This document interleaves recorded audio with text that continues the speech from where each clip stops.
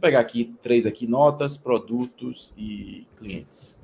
Vou pegar essas três aqui, vamos dar um transformar dados.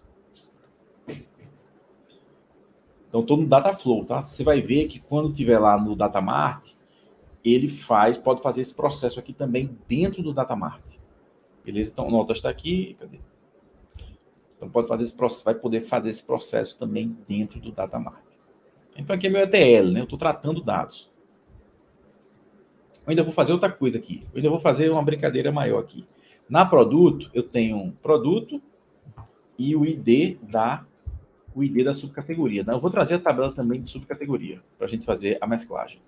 Vamos conectar lá no meu Excelzinho lá. Ah, tem que botar o caminho de novo aqui, né? Vou botar o caminho de novo. Para poder trazer também a tabela de, de subcategoria. Para a gente fazer o join. E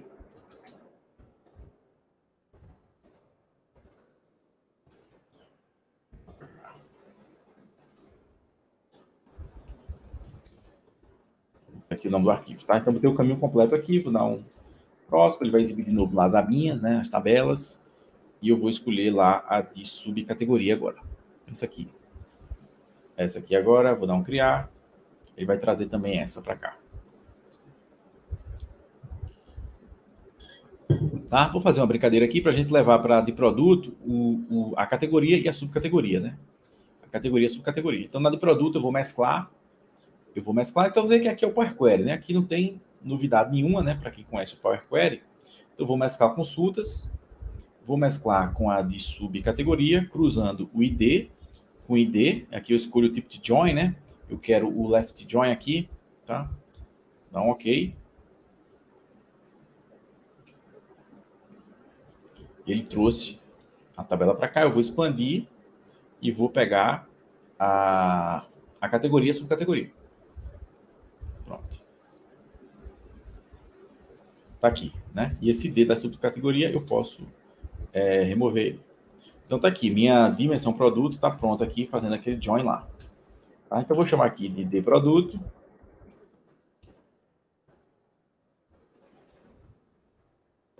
Vou chamar aqui, como é que tá minha D cliente? Tá tudo certo?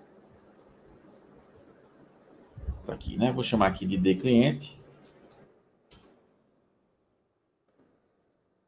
Vou ver minha F notas aqui. Minha F notas está aqui, minha tabela de notas. Vem três colunas aqui, quatro colunas aqui sem necessidade, né? Então vamos remover elas. Botão direito aqui, vamos remover.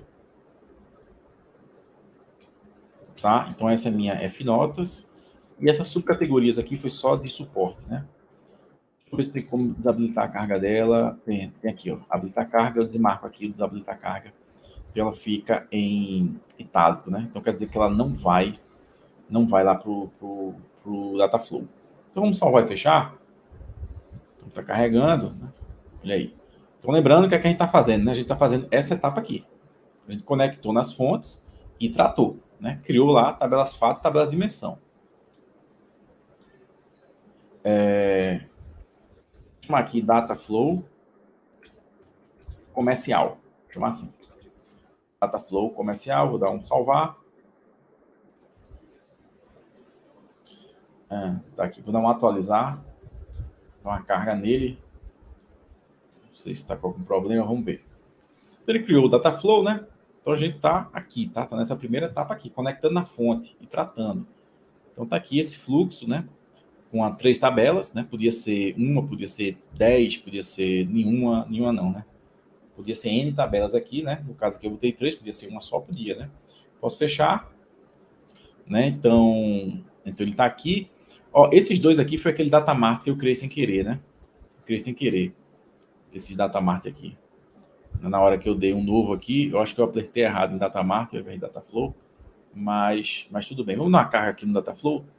O datamart tá com uma frescurinha ainda, tá? Ó, o cinzazinho é o datamart, né? Que, eu, que tá vazio aqui, né? Eu fiz sem querer. Eu clico nos três pontinhos, ele fica rodando, rodando e não, não faz nada. Você pode ver que tem um dataset também, né? Mesmo vazio, ele já gera o dataset, né? Deixa eu dar uma carga aqui no meu Dataflow. Tá rodando a bolinha aqui. Tá carregando os dados do Excel para o Dataflow, né?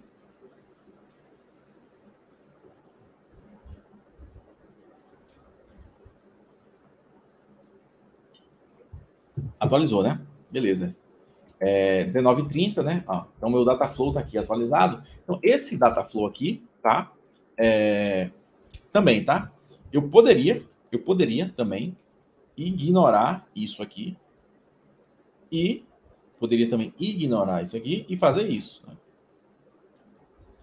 Poderia também, tá? Poderia também. Ou eu poderia também, outra possibilidade, ignorar isso aqui,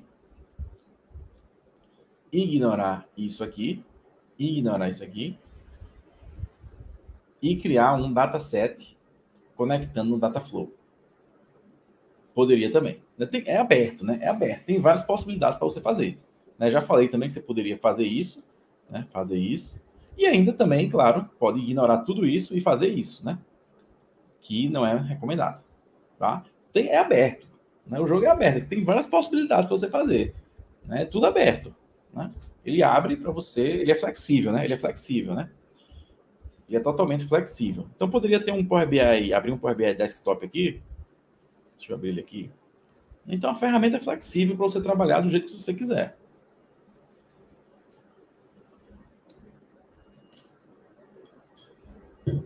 Qualquer dúvida, bota aí, tá? Então você pode abrir um Power Desktop e conectar nesse Dataflow, por exemplo. Né? Se eu for aqui obter dados do Dataflow, do fluxo de dados do Power BI, está aqui. Ó. Então ele vai mostrar os Dataflows que eu tenho acesso, né? Nesse caso eu mesmo criei, claro, eu poderia eu criar e outra pessoa usar, problema nenhum. Fui lá nesse workspace aqui, ó, teste Datamart, ó. Tá aqui, ó, Dataflow comercial. Tá aqui, ó. Olha aqui os caras aqui, ó. Olha aqui, ó. Aqui. Posso trazer eles para cá, carregar, vou carregar direto, tá? Se eu quisesse, podia fazer uma outra transformação em cima dele, levando Power Query aqui no desktop, poderia. Esse caso não tem sentido, né? Nesse caso não precisa. Eu já tratei lá no Dataflow, mas eu poderia fazer um segundo tratamento em cima do Dataflow aqui no Power Query Desktop.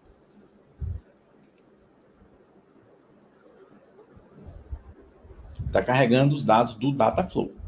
Vamos voltar para cá. Olha aí, né? Está aqui, né? O meu. Então aqui eu estou criando o dataset, né? Eu conectei no Dataflow e aqui eu posso criar um dataset, né? Então o que eu estou fazendo aqui é desconsiderando o Datamart.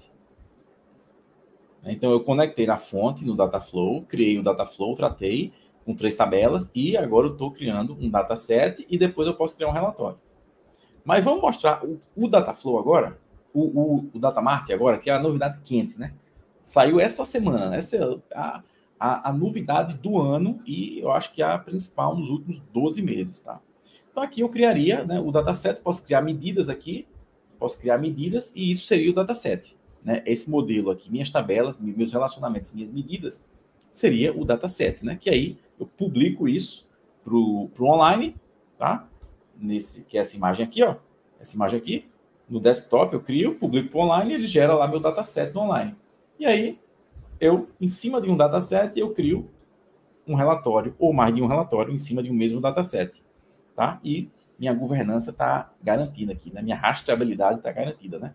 Então, eu tenho minha rastreabilidade, né? veio para cá, veio para cá, né? meus, meus, minhas medidas estão aqui. Então, qualquer relatório que se conectar nesse dataset né, vai trazer as mesmas medidas, aplicando as mesmas regras de negócio.